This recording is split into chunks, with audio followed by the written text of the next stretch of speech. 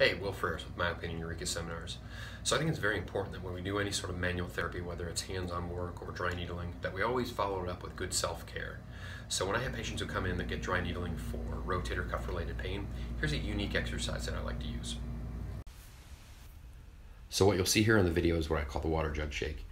It's a great alternative to the body blade that patients seem to be able to do much easier, and it's pretty fatiguing for the shoulder muscles. Your patient could go out and buy a shake weight, but then they have to painstakingly explain to their family why they have the shake weight.